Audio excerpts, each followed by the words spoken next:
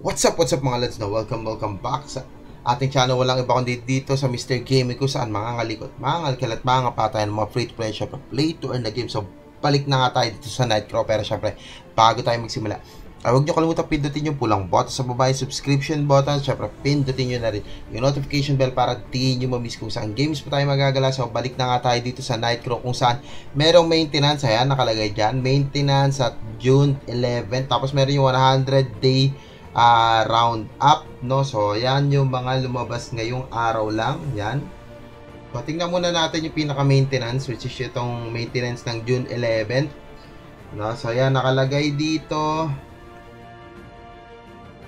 to 3 weeks of 100 day uh, commemoration event uh, 100 day commemoration event week 1 Clemens first invitation check-in FOT training dungeon event tapos crafting event tapos yung second day is uh, a 100 day yun yung number 2 100 day commemoration week, event week 2 uh, Clemens second invitation check-in event 100 day celebration check-in event, 100-day commemoration growth order, Land of Prosperity dungeon event, 100-day commemoration dungeon, 100-day commemoration battlefront event.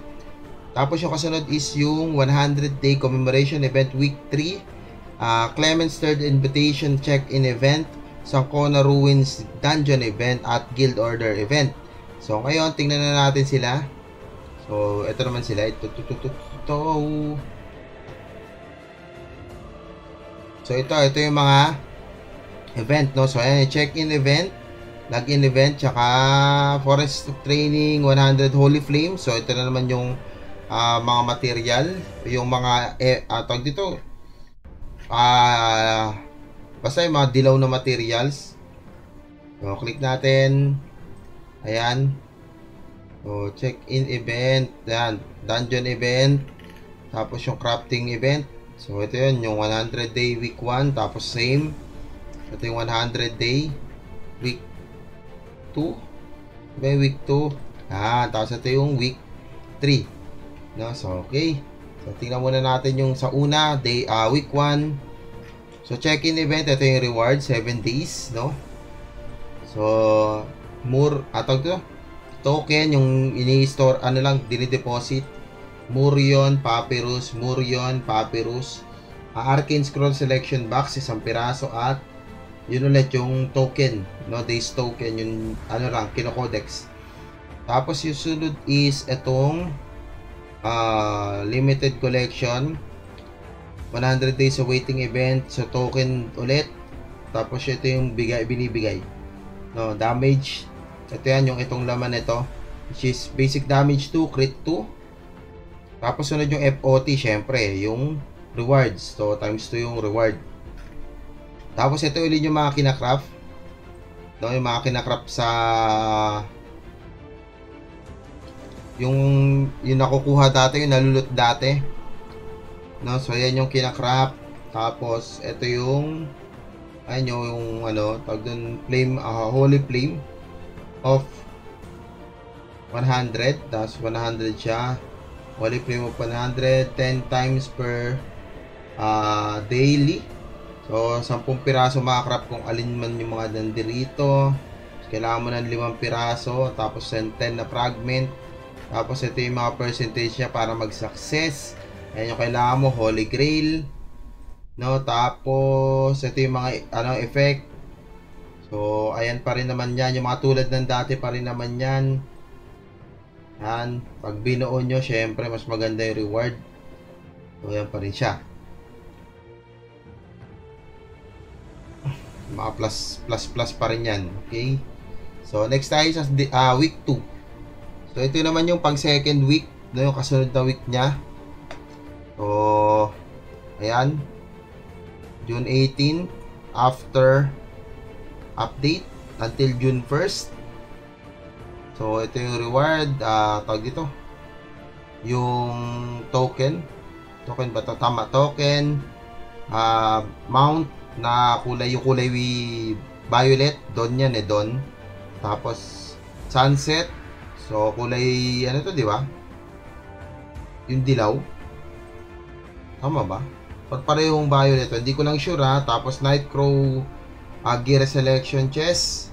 Tapos ganun ulit. Ay, gold nga to, gold. Tapos ito gold din. So, ito is uh, violet o uh, orange pala gold tuloy. Tapos violet ulit, tapos yung selection chest. Tapos ganun ulit. Ito ata yung ito yung ano yung ba tawag dito? Feather tsaka ano tawag sa mga equipment na yun? Nightcrow, Feather tsaka Talisman. Tama, ito yon. Tapos kulay orange ulit na para sa mount. Tapos pipili ka kung mount or ito yung ano, yung walang uncommon. Itong splendid. No, pipili ka kung mount or weapon style. Tapos ito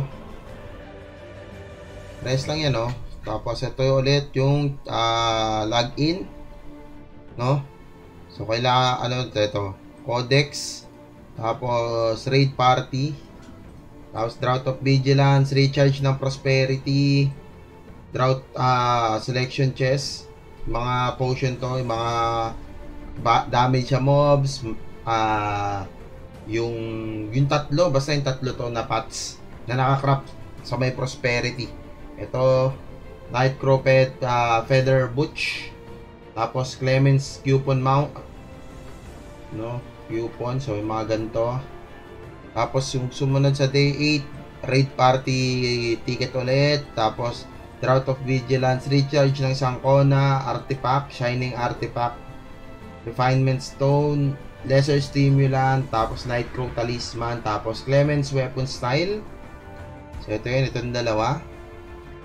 So, uh, rare or above mount grade style combination result may failure to retrieve another chance of combination of uh, attempt of rarity.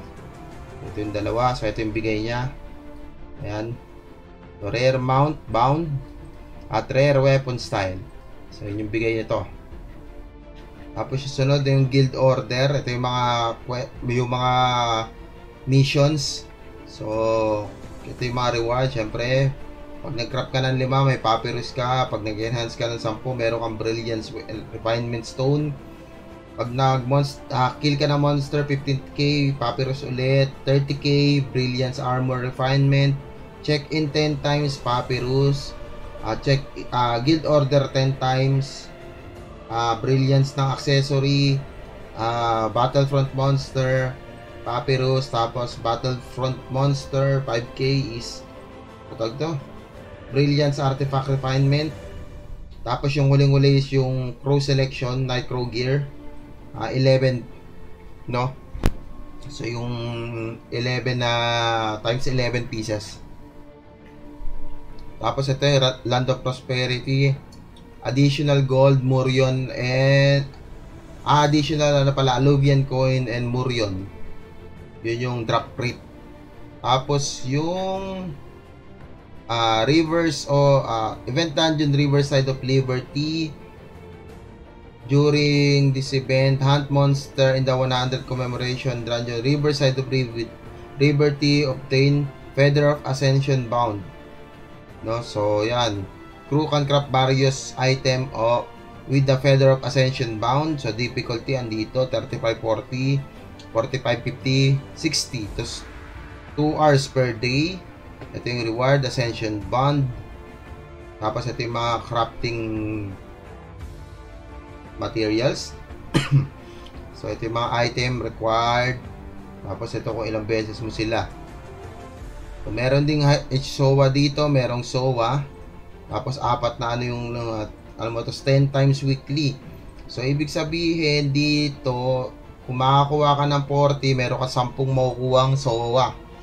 So, itong Seal of Advancement, pwede rin kung meron kang 80, Frozen Tier, Ascension of Sky, Talisman, ito yung pang-crop ng epic ano, epic na box para sa ano? Sa ano tawag dun? Yung panlipad. No? Tapos frozen tier, syempre. Higher SOA, Papyrus. So, 5 times per server. So, meticulous aircraft. Ito yung kulay blue. 3 times per server. Old aircraft. Uh, ah, 25 times per server. Masarta Recharge uh, times 10 ng Ascension 5 times per server weekly pitch black ito yung pang ano pang degrade pang bawas so once per server ito naman yung pang uh, either plus 1 or plus 2 so once per server tapos ito yung Ascension Sky Talisman Band is plus 2 pag ginamit ata ay hindi ito pala yun ito ito iba pala to iba iba iba so codex to effect last 30 minutes So, item. So, ibig sabihin, pwedeng i-crop ng i-crop. Ano pala to? Parang item pala. Hindi pala ito yung pang-crop ng ano, yung tinutukoy ko. Mali, mali, mali. Hindi ito yun. Tapos, Battlefront Commemoration. Monster in Battlefront during period 100 times. Meron ka makukuha coins, yung commemoration coins. Tapos, ah, sa BF lang. Tapos, ito yung mga bigay. Ayan, mga Nightcrow symbol, Echoa, Carbing, weighing scale, artifact, enhancement scroll, refinement scroll ng artifact, splendid selection box, splendid refinement box, uh, selection chest pa rin, spell rune crystal selection chest, star, uh, spell starlight crystal bound, just, uh, magical rune slate. So, ito yung ito yung kinokodex. So, ito yung bigay niya, PBE, tsaka PBE depth. So, ibig sabihin, maraming tatambay sa Battlefront para dito. Kasi, hindi natin alam kung ilan to per day eh. No? So, ito yung mga pwede mong bilhin. Okay? So, ito, syempre, bibili natin to. Itong mga to. Lalo na to, ito yung pinakauna natin para ma-maximize to. Tapos yung huli, ito na yung pang third day.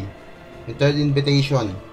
So, ito yung reward. Adba, ah, uh, Adva Silok Sowa, limang piraso. So, ibig sabihin, 15 pieces yung pwede makuha ngayong uh, event. So, another uh, source of growth, limang piraso. Uh, guild order message band. So, ito yung pang dagdag ng guild order. Murion. Sowa ulit. So, ibig sabihin dito is 10 to 10 din dun sa kabila. Plus another ito. So, 25 ngayong event yung makukuha na uh, Sowa. So, sangko na times 2 yung ano, guild order. Syempre yan yung uh, ah, 100 lang yung guild order. Tapos ito yung mga event na pwede mo makuha. So ito yung syempre mga reward. So yan. So yung mala, may laman na ngayon na yung 99 na dati wala tong yung ano eh. Yung box lang pala yung mawawala dito no. Pero ang habol dito kasi itong guild coin. So yan. Yung mga habol dyan. So yun lang siya. Yun lang naman yung event no guys no. Yun yung laman nung patch ngayon. So, kita-kita kits mamaya after ng main te. So, hanggang dito na lang muna tayo. Syempre, maraming salamat sa mga nanatilit na nood. Hit like and subscribe kung nagustuhan yung video. Syempre, pwede i-share. At pwede, pwede kayo mag-comment sa comment section sa bababasahin ko. So, yun nga guys, lagi yung tatandaan. Keep grinding and keep earning. We stay here. Peace out, guys.